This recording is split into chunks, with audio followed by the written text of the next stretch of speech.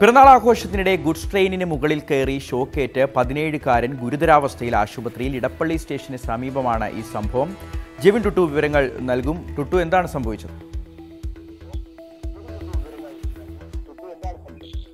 ഷിഹാസ് പലപ്പോഴും റെയിൽവേ ആവർത്തിച്ച് ആവർത്തിച്ച് മുന്നറിയിപ്പ് നൽകിയ സംഭവമാണ്. ഈ റെയിൽവേയുടെ ട്രെയിനിന്റെ മുകളിലൂടെ മറുവശത്തേക്ക് കടക്കരുത് എന്ന് അങ്ങനെയാണ് ഇന്ന് ഇവിടെ എടപ്പള്ളി സ്റ്റേഷനിൽ ഒരു ദാരുണമായ അപകടമുണ്ടായത്. ഉച്ചയ്ക്ക് ഉച്ചയ്ക്ക് ശേഷം നാല് മണി സമയത്താണ് ഞാനിപ്പോൾ ഈ നിൽക്കുന്ന ഇവിടെ ഒരു ഗുഡ്സ് ട്രെയിൻ നിർത്തിയിട്ടിട്ടുണ്ടായിരുന്നു.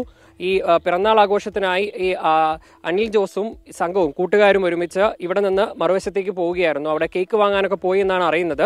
പോകുന്ന വഴിക്ക് ഇവിടെ ഉണ്ടായിരുന്ന ട്രെയിനിന്റെ മുകളിലൂടെ കയറി മറുവശത്തേക്ക് കടക്കാൻ ശ്രമിക്കുന്നതിനിടെ മുകളിലുണ്ടായിരുന്ന ഈ വൈദ്യുതി ലൈനിൽ തട്ടി അപകടം പറ്റുകയായിരുന്നു.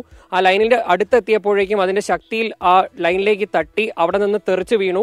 ഗുരുതരമായി പൊള്ളലേറ്റ് ഇപ്പോൾ ഈ ഇവിടേക്ക് തെറിച്ച് വീഴുകയായിരുന്നു. ഇവിടെ നിന്ന് ഇപ്പോൾ അദ്ദേഹത്തെ ആശുപത്രിയിലേക്ക് എത്തിച്ചിട്ടുണ്ടെങ്കിലും അവിടെ തൊണ്ണൂറ് ശതമാനം പൊള്ളലേറ്റ് ആശുപത്രിയിലുള്ള ഐ സിയുയിൽ ചികിത്സയിലാണ് പരിക്കേറ്റ വ്യക്തി ഒപ്പം കൂട്ടുകാരും ഉണ്ടായിരുന്നു ഉച്ച സമയത്ത് ഇവിടെ വീണ സമയത്ത് തന്നെ ആളുകൾ എത്തി ഈ ആന്റണി ജോസിനെ ആശുപത്രിയിലേക്ക് എത്തിച്ചെന്നെങ്കിലും പെട്ടെന്ന് തന്നെ ഇവിടെ തൊട്ടടുത്തുള്ള അമൃത ആശുപത്രിയിലേക്കാണ് ആദ്യം എത്തിച്ചത്. പക്ഷേ പൊള്ളൽ വളരെ ഗുരുതരമായതോടുകൂടിയാണ് ഉടൻ തന്നെ പൊള്ളൽ ചികിത്സയ്ക്ക് പ്രത്യേക വിദഗ്ധരായ ആശുപത്രിയിലേക്ക് തന്നെ മാറ്റിയത്. ഇ എം സി ആശുപത്രിയിലുള്ള ബേൺ ഐ സിയുലാണ് ഇപ്പോൾ ഇദ്ദേഹം ഉള്ളത് ഈ ജോസ് ഉള്ളത് എന്തായാലും ആശുപത്രിയിൽ ചികിത്സ തുടരുന്നുണ്ടെങ്കിലും തൊണ്ണൂറ് ശതമാനം പൊള്ളലേറ്റിട്ടുണ്ട്.